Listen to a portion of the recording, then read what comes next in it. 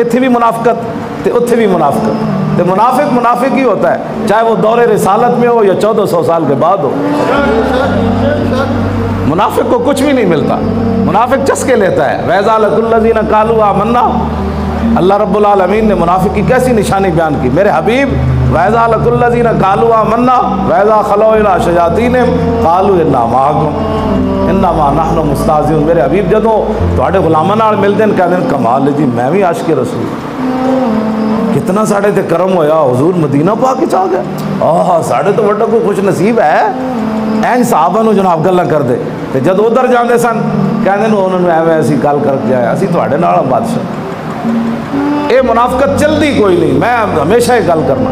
ये दो नंबरी थे दीन चलती कोई नहीं। दो सीने रब ने दिल रखे कोई नहीं, एक सियासी होवे तो एक मजहबी हो सियासत वाला दिल उधर होवे तो मज़हब वाला इतने लबैक के नारे ला रहे हो हाँ, इतने सीने एको ही रब ने दिल रखा वो अपने हबीब की मुहब्बत वास्ते रखा वो दीन वास्ते रखा दीन की गैरत वास्ते रखा इस वास्ते दीन इस्लाम का काम करो तो दीन तख्त उत्ते लियाओ 140 ਦੀ ਸਪੀਡ 'ਚ ਗੱਡੀ ਜਾ ਰਹੀ ਹੋਵੇ ਨਾ ਤਾਂ ਮੋਟਰਵੇ ਵਾਲੇ ਦੀ ਅੱਗੇ ਲੱਗੇ ਗੱਡੀ ਅੱਗੇ ਨਜ਼ਰ ਆ ਜਾਏ ਤੇ ਉੱਥੇ 20 ਕਿਲੋਮੀਟਰ ਥੱਲੇ ਸੂਈ ਆ ਜਾਂਦੀ ਉਹਨਾਂ ਨੂੰ ਪਤਾ ਹੈ ਚਲਾਨ ਹੋ ਜਾਣਾ ਤੇ ਜਦੋਂ ਪਤਾ ਹੋਏਗਾ ਨਾ ਮੁਹੰਮਦ ਅਰਬੀ ਦਾ ਦੀਨ ਉੱਤੇ ਬੈਠਿਆ ਤਾਂ ਫਿਰ ਕਿਸੇ ਦੀ ਜ਼ਰੂਰਤ ਕੋਈ ਸੂਦ ਲਵੇਗਾ फिर किसी की जरूरत है तो जनाब की कहते नो जी रिश्वत लवेगा फिर किसी की जरूरत है कि जनाब मीटर जनाब ज़्यादा करेगा या घट करेगा फिर किसी की जरूरत है कि डायरेक्ट तारा ला के एयर कंडीशन चलाएगा फिर किसी की ज़रूरत गैस चोरी चोरी होएगा, पानी चोरी होएगा, बिजली चोरी होएगी करप्शन पाँच सौ अरब की रोज़ाना होएगी। उन्होंने पता है उतने मुहम्मद अरबी का दीन बैठा और वो इतना डाटा है जो उमर में भी पूछ लगा दसो जी ये कुर्ता कितों बनाया जनाब? ऐ कहेगा इतना दीन डाटा बैठा जो बादशाह दियाँ धियाँ प्याज ना रोटी खवा दें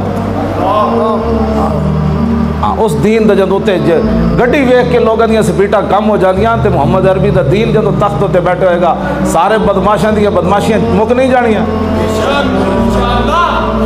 अयो अन्नास फैनी कद वल्ली तो अलैकुम वलस्तु बखैरिकुम जब उन्हें पता होगा तख्त उत्ते मोटरवे का ऐलान करने वाला नहीं बैठा वो सिद्दीक अकबर का गुलाम बैठा और सिद्दीक अकबर का खुतबा के वे अयो अन्नास फैनी कद वल्ली तो अलैकुम वलस्तु बखैरिकुम फ़ैन अहसन तो फ़ाइनूनी वैन असा तो फ़कवमूनी असिद को अमानत वल कज़िब ख़यानत व ज़ईफ़ फ़ी कवी हिंदी हत्ता अर्जाल हक कवी मिनकुम ज़ईफ़ हिंदी हत्ता खुजल हक मिनो जदों सिद्दीक का खुतबा होएगा फरमाओ अज सिद्दीक बन गया हुक्मरान जेड़ा मेरी रियाया में ताकतवर समझदा वो मेरे नज़दीक कमज़ोर है मैं वो हक छिक के ना तो वापस लै लेना तो जेड़ा कमज़ोर समझदा अपने आप में तकड़ा हो जाए। अज सिद्दीक आ गया।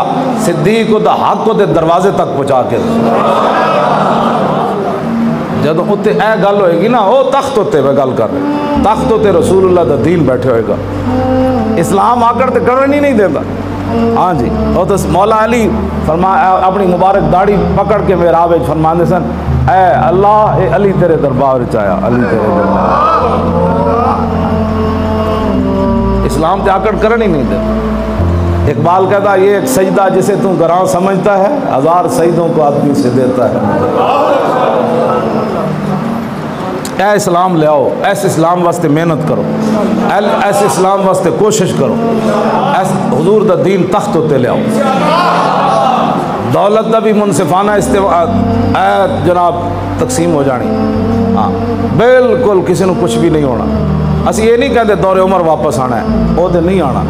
लेकिन यह ज़रूर है कि शेर शाह सूरी का ज़माना वापस आ जाए। ये ज़रूर। औरंगज़ेब आलमगीर का ज़माना आ जाए। क्यों जी?